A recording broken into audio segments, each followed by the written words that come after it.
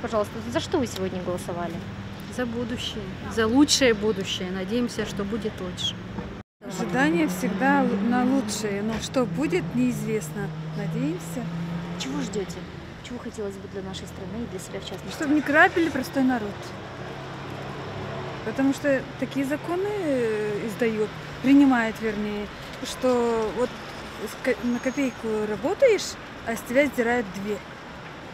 Я, как э, голосующий человек в этой стране, желаю, чтобы изменения произошли очень серьезно даже. И даже, как бы сказать, э, за глобальное изменение этих э, перемен. Мы ожидаем от этих выборов в первую очередь мир, потом, чтобы у нас было все хорошо, чтобы выиграл тот, за кого мы голосовали.